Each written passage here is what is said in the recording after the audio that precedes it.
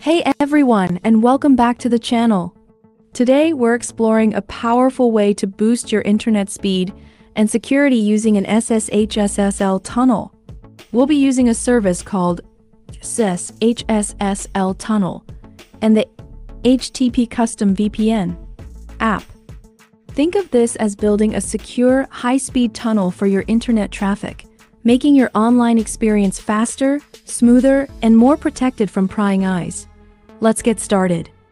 Step 1. Create your SSH-SSL tunnel. 1. Find SSSL tunnel. Open your web browser and search for SSH-SSL tunnel. Click the link to their official website. 2. Navigate to the Psiphon server. Look for the menu button on the website. Click on it, then select the Psiphon server option. 3.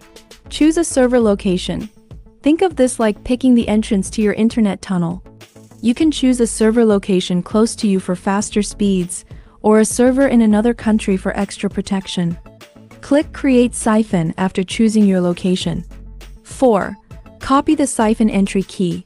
Once your server is created, you'll see a unique Psiphon entry key displayed. Copy this key carefully.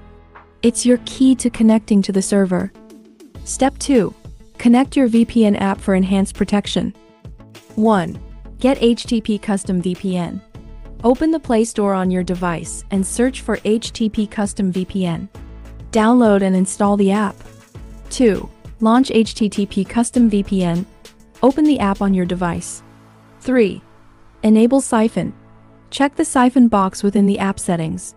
4. Go to Psiphon Settings. Click on the plugin icon and select Psiphon Settings. 6. Paste Psiphon Server Key. Paste the Psiphon Server key you copied earlier into the designated field.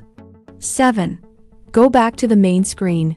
Press the back button to return to the main screen of the HTTP Custom VPN app. 8. Connect.